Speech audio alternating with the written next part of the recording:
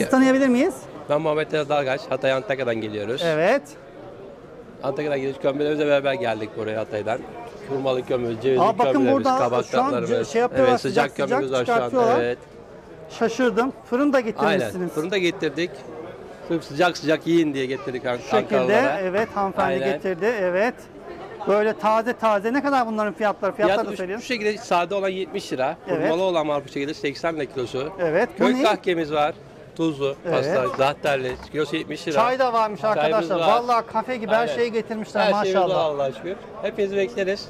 Hepiniz gelmenizi bekleriz. Buradayız. Sizi bekliyoruz. Başarılar dileriz, bol kazançlar. Teşekkür ederiz.